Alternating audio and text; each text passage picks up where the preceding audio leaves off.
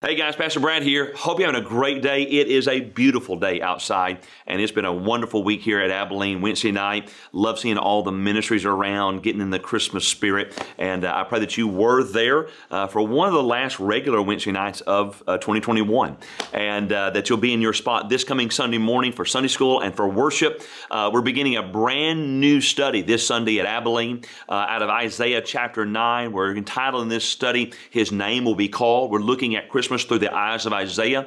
We're specifically going to be looking every week at one of those four names, one of those four titles uh, for the Messiah that would come, the Christ of Christmas, uh, Wonderful Counselor, Mighty God, Everlasting Father, Prince of Peace, and uh, looking at one of those a week and trying to figure out and see what the Bible would have to say that what, what do they mean and then why do they matter, not just at Christmas, but in our everyday lives. And so you're going to want to be here as we begin this really significant, special, meaningful uh, study uh, uh, through this Christmas season.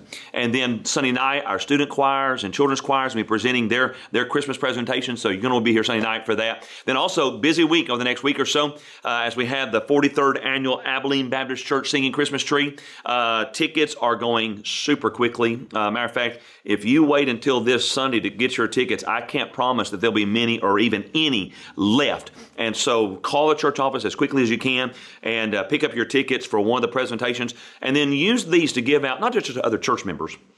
This is not just to have something to other church folks can check off their Christmas boxes, uh, but use these to give out to folks that don't have a church home, that don't know the Lord, and then invite them to come to hear the real story, the meaning, and the really the story of the of the what, what Christmas is all about and uh, you can use that uh, and pray that they come to know the Lord as a result of that. And so pick up your tickets very, very quickly. And then also don't forget that our adult devotionals are going super fast this year and uh, really nice devotional, one for 15, two for 20, uh, $10 everyone after that. And uh, Dr. Johnny Hunt's been putting these together for years. I'm blessed to be a, a part of the group of pastors that submits these every year. Uh, Thomas Nelson prints them, publishes them for us, for us, and they're really nice. And so take advantage of getting these for Christmas gifts, stocking stuffers, uh, for those folks who are going to start that quiet time back uh, the first part of the year. Super, super nice. So take advantage uh, of that. Lots of great things going on. All the Christmas parties, our carols, candlelight, and communion service there on the on the 19th. That night, one of the most special, meaningful services of the entire year. If you're new to Abilene, you're going to want to be there for that. And so put that on your calendar. Don't don't miss it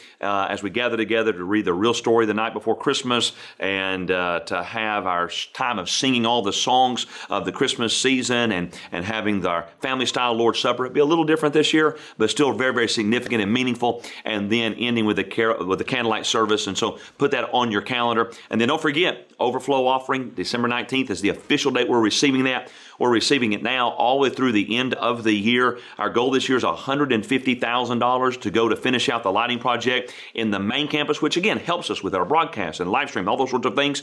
And then the main part of that is going to the development and beginning construction process started, the development land, that sort of thing right now, contractors and engineers and architects, those sorts of things to get that going on the new campus uh, out in West Columbia County, the new property. So uh, God's blessed us with 62 beautiful acres there. We we we want to kind of get moving on that, and us working together, being sacrificial in our giving, uh, can help us get, get started. And so, join me and my family being very, very generous and uh, giving to this year's overflow offering. So, that's a lot this week, guys.